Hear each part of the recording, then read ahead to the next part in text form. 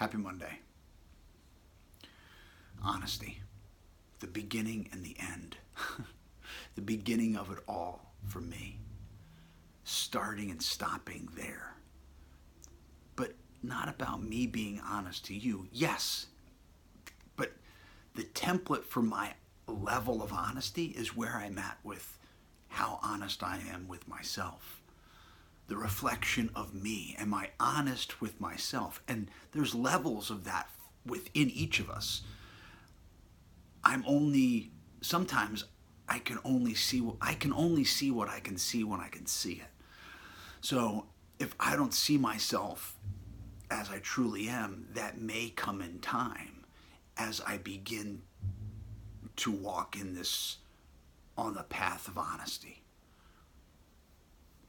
As I uncover, discover, and discard things about myself. But the best definition I've ever heard of honesty is freedom from deceit.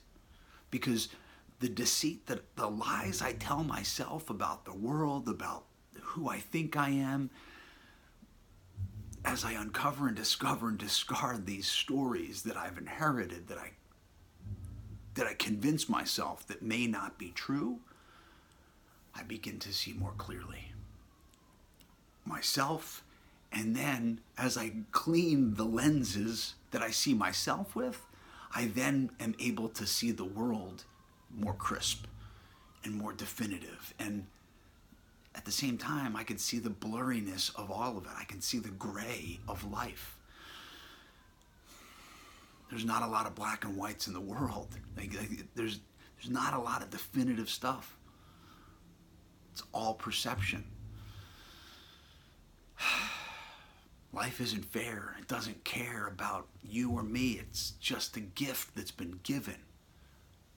How I see it, how clean my lenses are, my lens, my heart, how I filter what I see is important. So the more truth I bring to that, the more honesty I bring to how I feel about myself, how I view myself, I then can see the world around me, the people that surround me, the community that I embrace or deny.